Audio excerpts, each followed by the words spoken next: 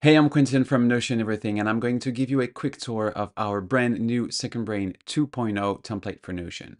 It's an all-in-one system that turns Notion into your unlimited digital brain where you can capture and manage your tasks, your notes, goals, projects, and more to organize your entire life from one single place and start freeing your mind.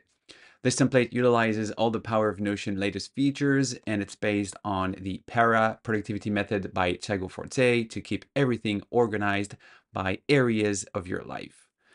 Now, before diving into your Second Brain main dashboard, which uh, you can see here, let me first open the navigation page of this template as it shows you the structure of the system and how easy it is to navigate and customize.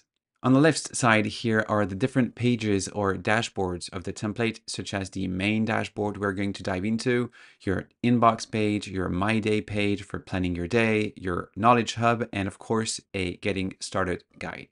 And on the right side, you'll see the actual databases that are used in your second brain system, which offers advanced filtering views for your data. And these would be your areas of life, your tasks, projects, notes, and much more, as you can see.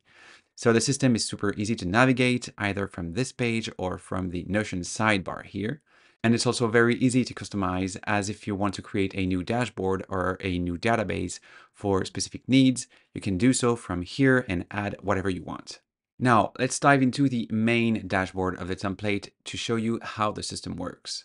At the very top of the page, you can find four simple buttons to quickly capture tasks, notes, and basically anything you want to add to your Second Brain's inbox. The inbox that you can also access by clicking here is a page where you'll see all your latest added items in order for you to process them later. And when you're ready, you can simply change the status of any item and it will disappear from your inbox. Back to the dashboard, the next thing you'll see is a view of your areas of life. You can create as many as you want, and if you have any ongoing projects, goals, or tasks associated, they'll show up as active areas with very useful dynamic tags telling you what's currently happening for each of your areas. Obviously, if you click on any of your areas here, you'll access a dedicated area dashboard showing everything related to the specific area you clicked on. Next under dashboard are your goals, automatically classified short-term, mid-term, long-term, depending on the deadline you've given them. You can add new goals from there and you can track your progress by updating the different values for each of your goals and even associate tasks with them. Then comes the projects section where you can see all your projects in a timeline view or a Kanban style board view and again, if you open a project page, you'll see everything related to that specific project, including tasks, resources, and notes. Each project has a progress bar that will show you the percentage of tasks associated that are marked as done. Now moving on to the task section of the dashboard, you can easily view your to-dos on a weekly or monthly calendar and below that, you'll see a list of your tasks, whether they're upcoming or overdue tasks, or even in your inbox, which you can drag and drop into your calendar to schedule or reschedule them. Want to mark that one completed, just check the box and it's done. Very easy. Moving down here, you'll access all your saved resources, which can be websites, YouTube videos, books, podcasts, or any external information you saved. And if they include links, you'll see a nice little button here to easily open them with just one click. And finally comes the notes section where you can access all your personal notes and easily view your favorite ones.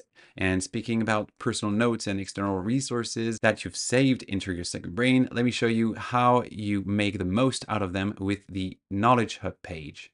Basically, this is the place where you'll store and organize all your knowledge in order to easily retrieve any piece of information when you need it.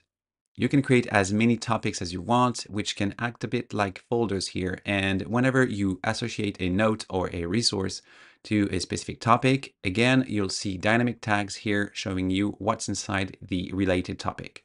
And if for some reasons you archive everything inside a topic, it will then move to the inactive tab to always keep a clean system.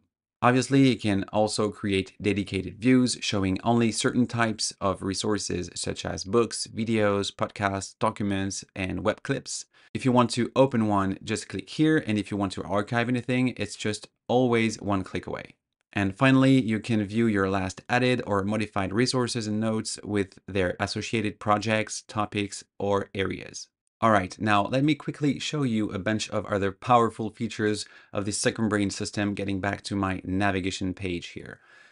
And starting by showing you some extra templates we've added to this system, including a daily habit tracker, easy to customize, a daily journal, including a clean journaling template inside, a personal CRM with useful reminders for birthdays and follow-ups, and even an address book for saving your favorite places.